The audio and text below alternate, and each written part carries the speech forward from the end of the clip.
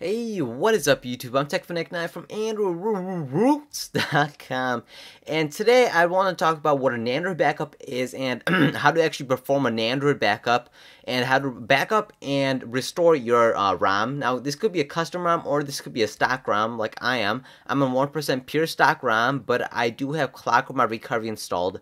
Um, so do make sure you have ClockworkMod Recovery or Team Win Recovery project um, installed onto your Galaxy S4.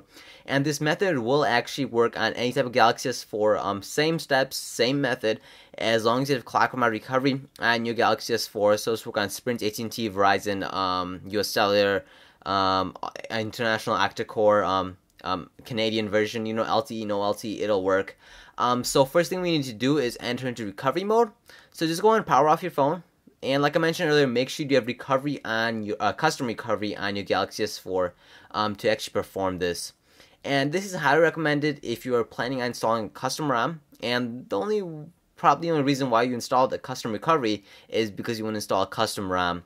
So once your phone is powered off, you're gonna press the volume up, home center button, and uh, power button all at the same time. Once your phone vibrates, let go of the power button, but keep holding onto the volume up and home center button.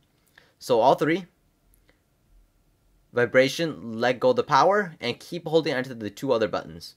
And there you go. Give it a few seconds, and you will enter into recovery mode. And alright, you can let go once you see that blue thing. I was just making sure. So as you can see, mine is in the blue uh, normal one, but that's alright. Yours will probably show up blue, um, or you can show up like this if you saw my video of the OS. Oh yeah, I don't know how to pronounce that. Um, but anyway, let's go and try to do this. Let me focus that. Sorry about that, guys. Um, so first thing you need to do is go into backup and restore. Tap on that and do backup. Now, if you have an external SD card, you can do advanced restore from, uh, or not restore is backup.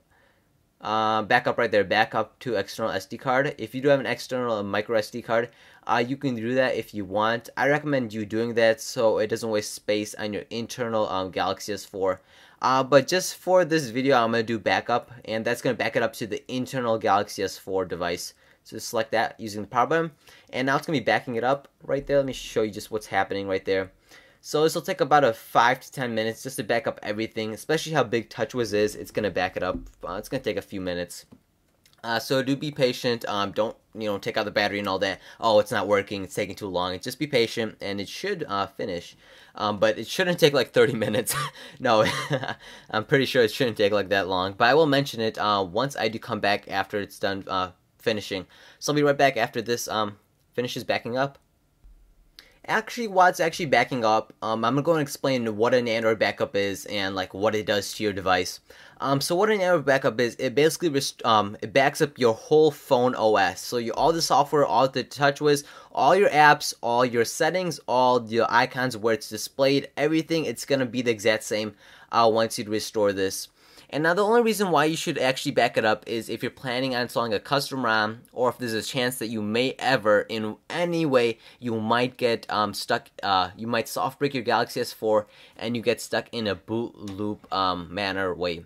Um, so what a boot loop is, it just uh, keeps spinning around the Samsung logo uh, once you first do turn on your device.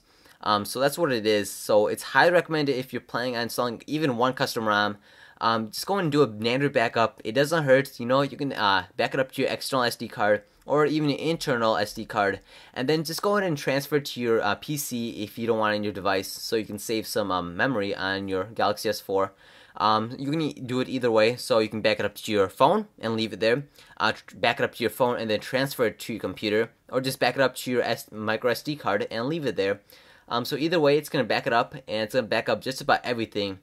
Um, just keep in mind it will not back up your music, um, movies, and photos. So all your personal things, your media files, and all that, it will not back it up. It's gonna back up all your phone OS type stuff. So all your call logs, your email, um, all the apps that you have, all the text messages that you have, and the uh, general settings of your phone's OS. It's gonna back it up. So while this finishes up, I'm gonna go ahead and take a break, and I'll be back right after this. Alright, so it looks like it only took about 5 minutes to actually back up. Um, now I want to show you how to actually restore it, uh, just in case you get stuck in a boot loop, or if you just feel like restoring it. So go and tap on restore, right there. Oh, sorry about that focus right there. Um, so just tap on restore on the second one right there. And if you actually restored it from your external SD card, tap on that one. So restore from external SD card. So we uh, restored from the internal. So just go and select restore right there. Oh, right there. Select it, and there's the date right there. Um, is that the correct date? I believe that is correct date. Um, 118. Um, so that should be the right date. You can change the date, uh, the folder name right there if you want, so you can get the correct date or the correct order. Just make sure you don't put any spaces in there select that and select yes to restore and select yes to restore and now it's going to be restoring it um, right there so now it's only going to take about a couple minutes I'm pretty sure this is faster than actually um, rest uh, restoring it or actually backing it up. Sorry about that. I'm backing it up. Um, but overall it shouldn't take too long. And once this is done I'm gonna go and reboot it and show you that it actually worked. So I'll be right back Alright, so the uh, re restoring the actual ROM took about uh, 10 minutes, so depending on how much um, information you have on your device, um, it'll take about 5 to 10 minutes, um, or actually 10 to 15 minutes, depending on how much you have. Um, I just had a lot of bloatware that came with T-Mobile's apps, so that's why it took a, a little bit more than expected. Um, but just go ahead and choose Go Back, so go back, and then we're going to reboot system now right there. And now it's going to reboot your phone, and you should have the restored uh, stock ROM or whatever ROM you had, um, when you first got it or when you last backed it up, and you should be good to go. So uh, just give it a few seconds, and I'll be right back. Alright, so I finished rebooting. Let's go and uh, see if it worked. And yes, oh, yep, all my apps are in the exact same place, even after, after the restore. Um, everything is working. All my messages coming back up, so all the messages I didn't read that were in my notification before came up. Um, SU binaries out of date, so everything seems to be working just great. Um, uh, everything exactly the same as I left it right before the actual backup and re uh, restoring the ROM.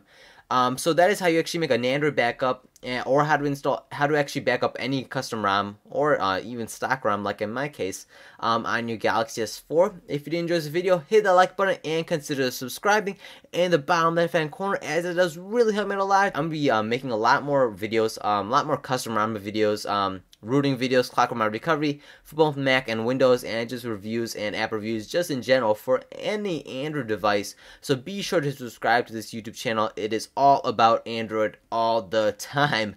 Um, so you're probably going to enjoy this video and enjoy this whole YouTube channel in general. And if you do need to get in contact with me for whatever reason, you can go and uh, follow me, like me, and add me on Twitter, Facebook, and Google+. All links are down below, and a more in-depth written step-by-step -step guide is down below. Thanks for watching, guys. Peace.